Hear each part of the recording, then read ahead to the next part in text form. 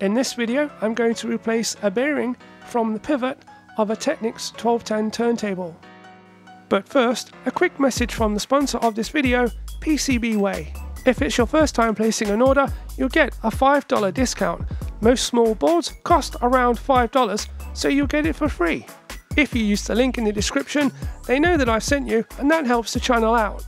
Now let's get back to the video. Here we have an example and the top looks good. But if we look on the bottom, we can see that there are some damage to the bearing. Now I've been doing this for a little while and it doesn't always work. But I'm going to show you how I do it and then we'll do some testing afterwards. Now the first thing that we need to do is get this old bearing out.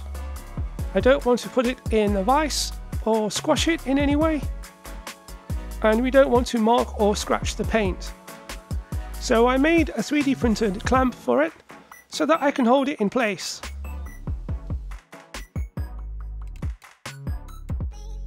And then we can secure it in this vise. So I tried a few things and I brought a set of picks and as you can see they're not very good and it would just bend when I applied any pressure. So I had a look through my tools and I found this metal pick that was just part of a cheap blade kit. So we push this into the middle of the bearing and we just keep wiggling around and deform the rim of the bearing and push down, bend it, move it around and then eventually it will pop out of the old bearing holder.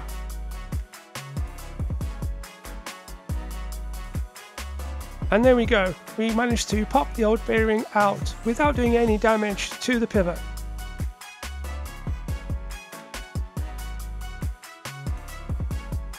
And here we can see the old ball bearings.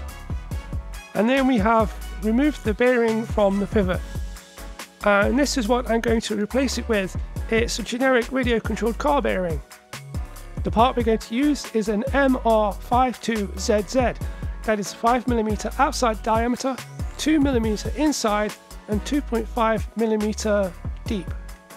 And ZZ means that it's a sealed bearing and you don't actually see the ball bearings inside. And now we need to get this bearing into the old pivot. And as you can see, it's just too big.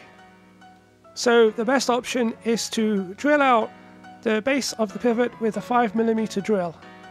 We need a really good quality drill bit and that it's really sharp. If it's not sharp, it won't cut clean. I found if we try to use a smaller drill for a pressure fit, it would mean that we have to push on the bearing and I don't want to damage the pivot or deform it. So we have to use 5mm and a little bit of glue to hold it in place and we have to be very careful with the glue on the bearing. We don't want to glue the bearing so that it doesn't move freely. We really don't want to be using a hand drill for this. We want to use a pillar drill so that we can drill straight so that the bearing is straight and that was another reason why I made the bracket so that we can keep everything straight and true.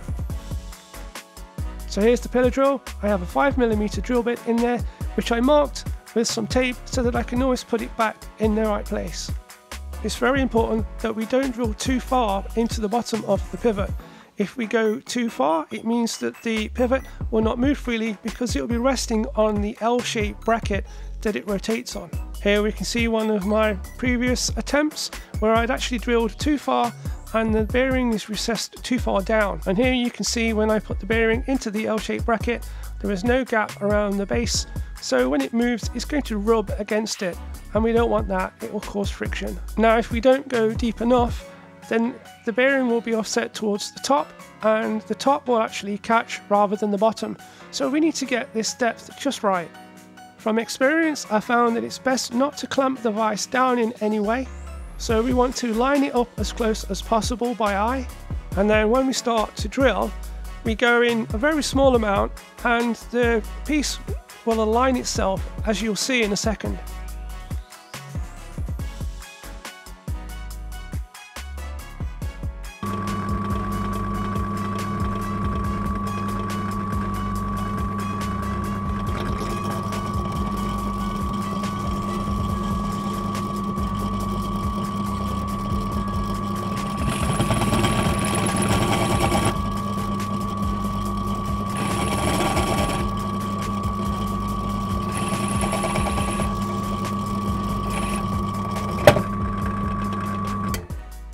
And then just keep checking.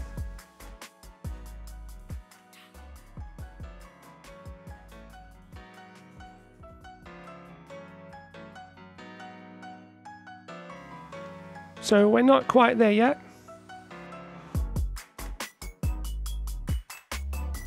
And what we're looking for is for the bearing to be flush with the top of that inner part of the pivot.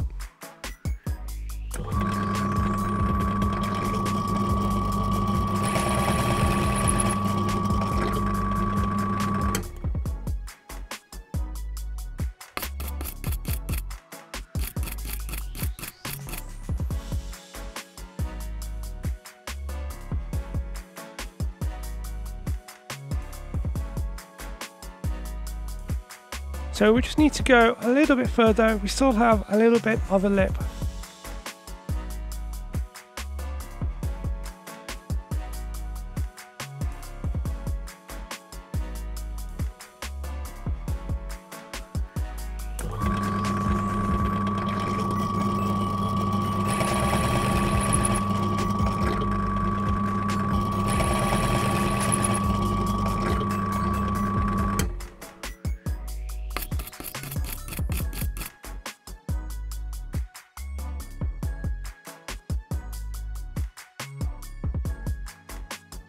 Okay, I think that is about perfect. Yep, it feels just about flush with the rest of the metalwork. So the next step is to glue the bearing into the pivot. We want to clear out all of the filings and all of the oil and clean it off with some IPA, otherwise the grease will stop the super glue from working.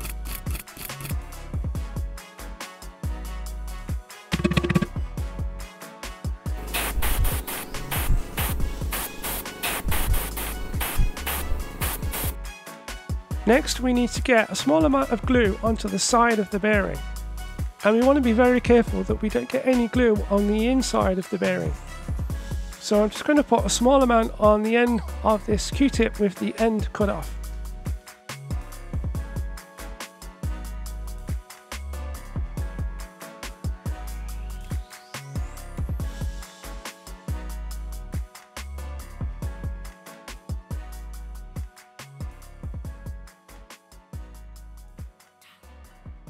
And there we go.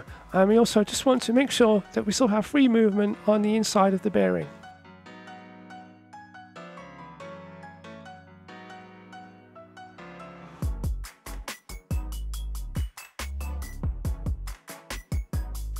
And then we just give that a bit of time to dry. Once that's dried, just give it another few turns, to make sure that it still moves freely.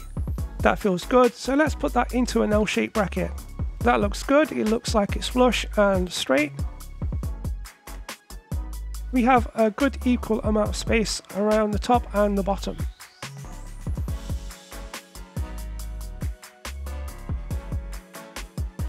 So let's put the bearing lock back in the top.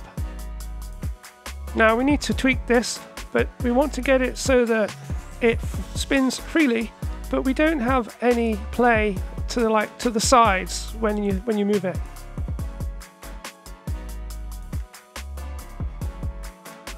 Okay, so there's no left or right movement, but it's not spinning quite as freely as I would like. So I'm just going to loosen it off a little bit.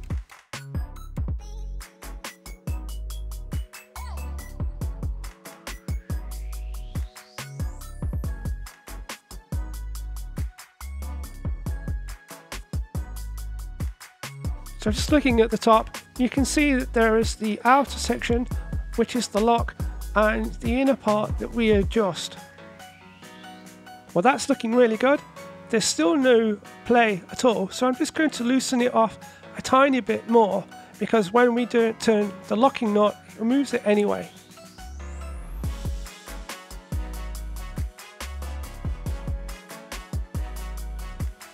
And that feels really good. There's still no movement and as you can see it's spinning really really freely now.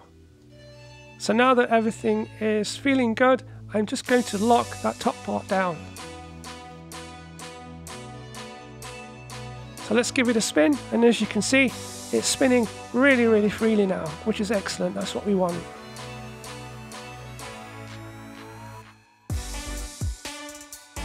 And I can't feel any play or movement in the bearing while it's spinning so I think this one should be good and let's put this back into a tone arm.